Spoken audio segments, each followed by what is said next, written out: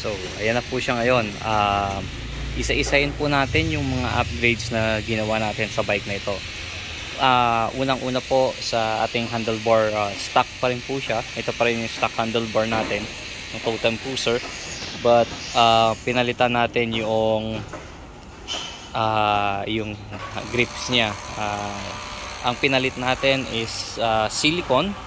Ang brand niya ay Sear. Ayan po, Sear napakaganda po niyan uh, napakalambot po niyang hawakan napaka-komportable so na-try ko na siyang i-long ride at i-trail at uh, satisfied naman po ako sa naging result. Ang next po na pinalitan natin is uh, ang ating stem. So from doon po sa 70 uh, mm ata yun na stem pinalitan natin sa, sa yung short stem na weapon savage. Kasi uh, mag-trail ang balak po natin is mag-trail And um, next po na pinalitan natin is yung headset. Uh, nakadalawang palit po tayo ng headset. So ngayon, ang gamit ko ngayon is Ragusa. Ang unang headset na ipinalit ko dito is seal bearing. Uh, kasi hindi seal bearing si, si to, yung uh, headset na ito. Then nagpalit ulit ako ng headset hindi dahil nasira kasi uh, nagpalit tayo ng port. So, mamaya explain natin yun kung bakit tayo nagpalit ng port. Um, Next po is yung pinalitan natin yung brake niya. Ang nakakabit na brake niya ngayon is MT200, Shimano MT200. Um, pinalitan po natin siya ng MT200 kasi para sa safety na rin po natin. Uh, though, yung Logan brakes naman is maayos pero uh, nung tinanggal siya is may tagas na.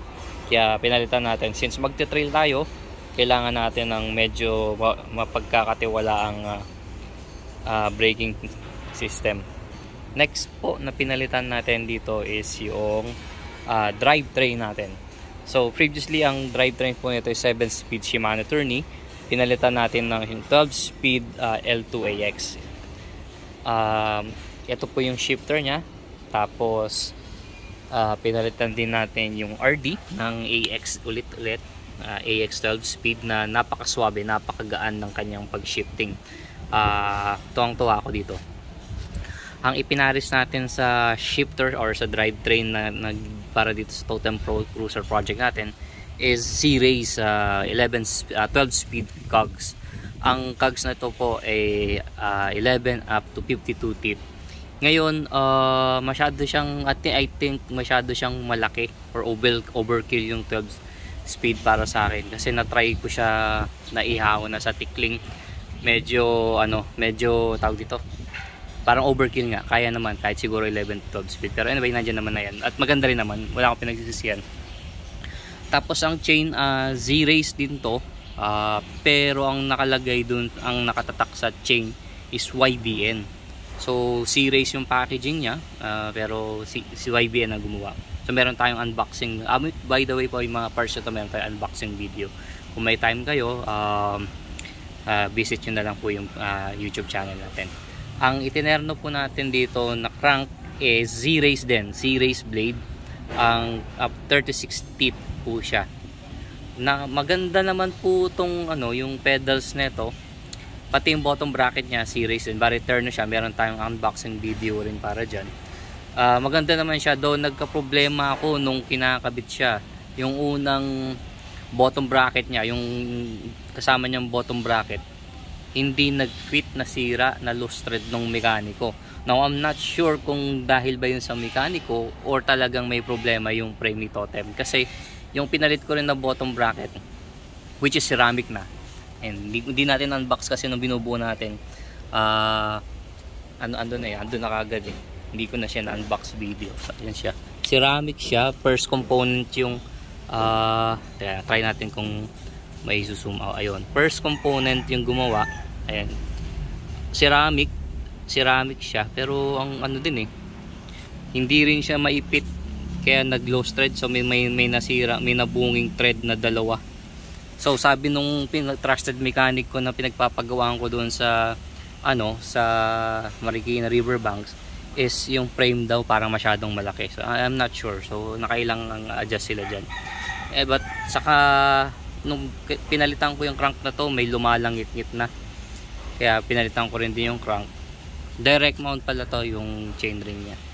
Then uh, ang rear hubs po natin is speed 1 soldier. Speed 1 soldier po yan na ratchet type. Napakagandang uh, hubs po niya napakatibay. So yan po yung mga sa drivetrain natin na pinalitan natin. Uh, punta tayo dito sa harap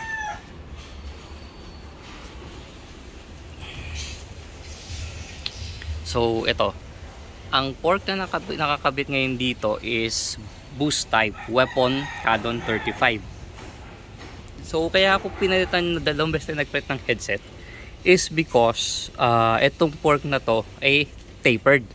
So ang nakakabit na headset ngayon dito is uh, tapered to non-tapered frame na uh, converter. Uh, yung yung Canon can, Canon type na canonical type na spacer ko nasira, nag-crack yung stock. So plastic lang ata 'yun eh. Uh, pinalitan din natin 'yan. Etong uh, weapon na to is ang sabi sa akin or based sa mga nabasa ko review bago na raw ang manufacturer na to hindi na yung gumagawa ng mga famous na famous port ng weapon. So alam niyo naman siguro kung ano yung bakit famous yung mga port ni weapon. Uh, tapos po ang next na pinalitan natin is yung wheelset um, ang tires po na nakakabit dito is Maxxis Crossmark 2 uh, 27.5 by 2.10 po ang kanyang spec. Uh, ano na po siya? Tubeless? Naka tubeless na po tayo ngayon. And ideal to sa mga light trail saka sa road, road use tapos ang rim na nakakabit natin is weapon din uh, weapon prime TR7 40mm po yan yung lapad nya um, weapon po yung nagbebenta pero ang pinaka manufacturer po uh, rebrand na po ito eh. Rebrand na to ni weapon. Ang pinaka manufacturer na itong rim is ano si Wayneman so ang pinaka brand niya is Wayneman U40 yan ganyan po ang ginagawa kasi ngayon ni, weapon mostly ng mga items nila is rebrand na lang nire-rebrand lang nila ibang gumagawa um uh, napapansin nyo, kung makapansin nyo, yung hub natin dun blue. Tapos dito black. Ito yung hub. Pero pares po yan na speed 1 soldier. Uh, bakit black? Kasi po boost to. Boost yung uh, fork at through axle. Kailangan kong magpalit ng uh, hub na boost. Though meron naman mga converter, uh, converter na adapter din ilalagay dito para maging uh, boost siya. Pero ako kas ang mas ay ang bala ko kasi dito is gamitin siya pang trail so kung ano yung specification ng product na binili ko sinunod ko para hindi masira and uh, kaya ko rin siya nasabing final build kasi papalitan ko na po itong frame final build as a totem bike uh, magso-switch na po tayo sa from yung pang, pang bike. Bike lang natin is magso-switch na tayo sa enduro or trail dahil medyo nag-enjoy tayo. So yun lang po uh, ang mga naging updates natin sa sa build na to. Ah by the way po yung spokes ko is Ragusa. Spokes and yung nipple is Ragusa. Tapos sagnit yung pedals. Ah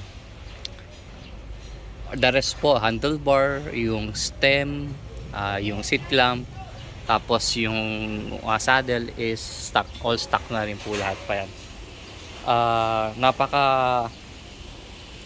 napakaganda ho ng naging resulta ng build natin. Though hindi hindi ko siya pag dito hindi ko siya i hindi ko siya papalitan. So tatanggalin ko lang tatanggalin ko totally lahat ng parts.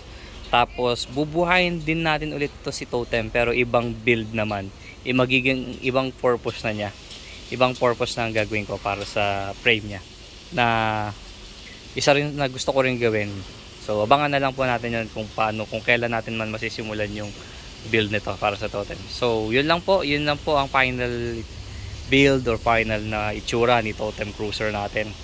Uh, maraming maraming pong salamat sa mga nanood at sumuporta sa uh, series na to. Naging series siya eh.